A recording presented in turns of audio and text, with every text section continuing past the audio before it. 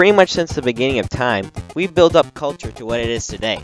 But we haven't had popular culture for too long, nor have we discussed how it has impacted us and society.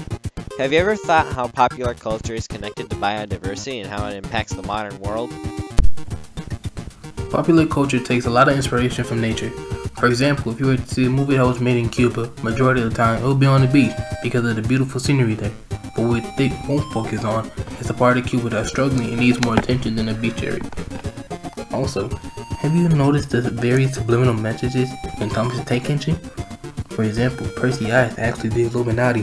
The government has been keeping this from us the whole time. Everything is a lie.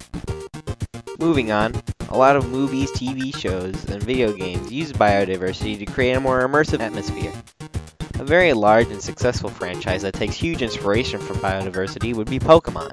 For one of many examples, there's a Pokemon by the name of Shellos, which is most likely based off the Chromodoris lochi, in which they both share similar appearances and can even change their appearance when in different parts of the sea.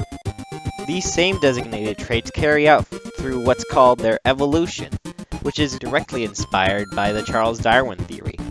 There's also another phenomenon in the Pokemon games known as a shiny Pokemon, in which a Pokemon can be born with a different color variant than the rest of its species.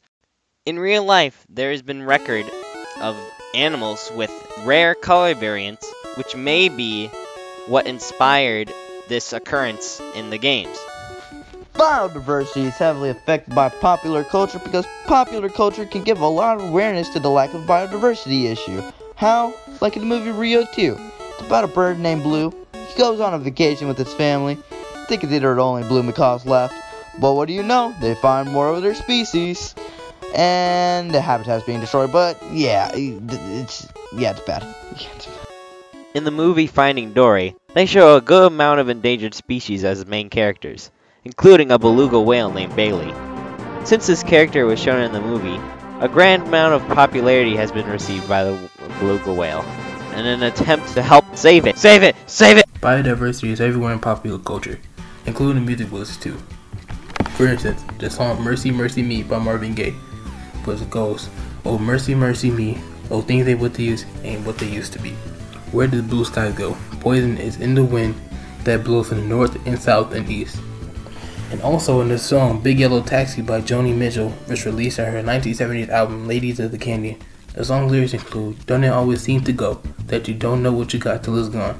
They paid paradise and put up a parking lot. Popular culture's connection biodiversity is all positive though.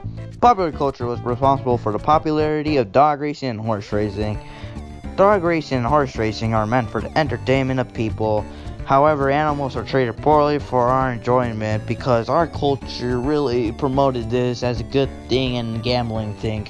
So many people were very interested in the idea until many people uh, got together to ban dog racing. Horse racing is still legal.